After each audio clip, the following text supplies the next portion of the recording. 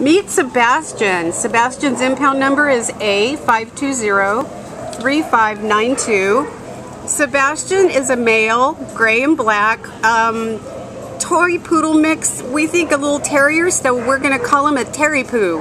Um, definitely looks like he could have a little bit of terrier in there. Um, it doesn't have an age, but he's definitely a senior. He's got some cataracts, it looks like, um, but um, it looks like he can still, he still has vision. He walks on leash just fine.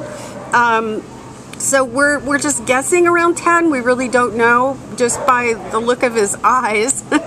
Specifically, um, how are his teeth? Can you see his Uh, teeth? Well, that's that's kind of how I determined that he may be between 8 and 10. 8 and 10, okay, Yeah, okay. Based on his teeth. Sure, we'll go with that. Now he's a pint-sized little thing. He's only 14 pounds, so he's a perfect little lap dog. He'd be great, and um, you know, if you don't have a lot of space at home, um, he'd be pretty good in any kind of living situation. And he's easygoing, mellow, just sweetheart. Absolutely. Um, is there anything else you can tell us about him, Kim?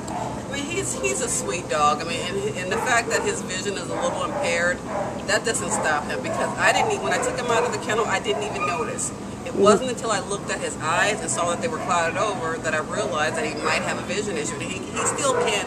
Yes. So he, he has some vision, but it, it doesn't stop him at all. Does Yeah. not stop him. He has he has good energy. Yeah. He has good. He you can tell he likes going on walks. So I think he I think he fit into any family. He's a great little dog. Oh, so come on down to the Baldwin Park shelter and meet Sebastian. We love him. We think he's a sweetheart, and we know you will too. Bye, Sebastian.